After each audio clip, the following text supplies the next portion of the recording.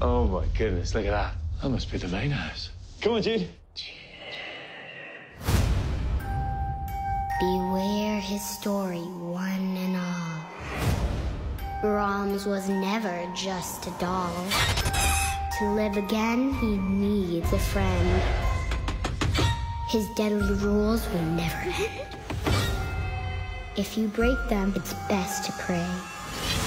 For Brahms wants more than just to play. He's got a secret that only he knows. Something is happening to him. Love you, Mommy. I love you.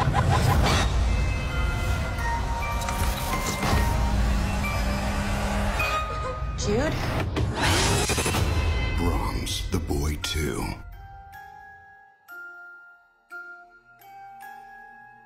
In theaters February 21st, rated PG 13.